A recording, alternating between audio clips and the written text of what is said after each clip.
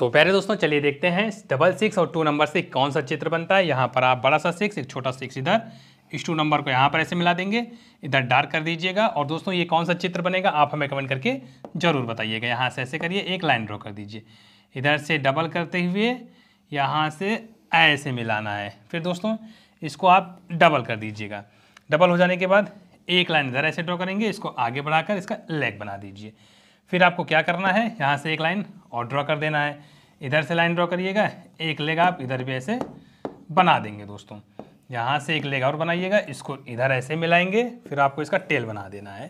तो ये कौन सा चित्र बना है दोस्तों? आप हमें कमेंट करके ज़रूर बताइएगा। यहाँ पर आई बनाइए। एक ऐसे सर्कल बना दीजिएगा।